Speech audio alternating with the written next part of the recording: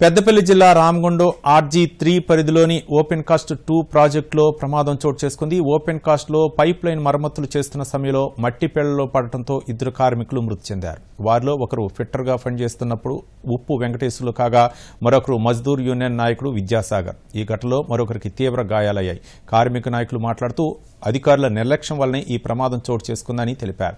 శ్రీనివాసరాజు సమ్మయ్యలు ప్రమాదం బారిన పడి తీవ్ర గాయాలయ్యాయని తెలిపారు.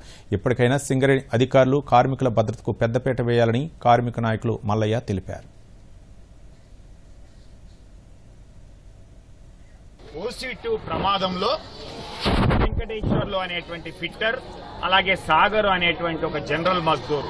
ఇద్దరు కార్మిక సోదరులు చనిపోగా ఇద్దరు కార్మికులకు దెబ్బలు తగిలి మట్టి పడినటువంటిది శ్రీనివాసరాజు అయితేంది అలాగే సమ్మయ్యలు కూడా ఈరోజు హాస్పిటల్కి వచ్చినటువంటి. ఈ యొక్క యాక్సిడెంట్కు పూర్తిగా సింగరేణి యాజమాన్యం బాధ్యత వహించాలి.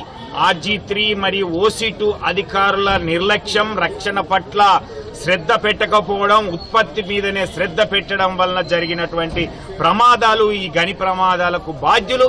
ఆ యొక్క అధికారులను కఠినంగా శిక్షించి ఇక ముందు ఇలాంటి రక్షణ లేకుండా ఉత్పత్తికి సంబంధించినటువంటి చర్యలు చేపట్టినట్లయితే మా ఉద్యోగాలకు భద్రత ఉండదు అనేటువంటి ఒక భావన అధికారులు కలిగేటట్టుగా ఉంటే శిక్షలు ఉంటే తప్పితే ఈ యొక్క యాక్సిడెంట్ల పరంపర ఆగదు అనేటువంటిది అర్థమవుతుంది.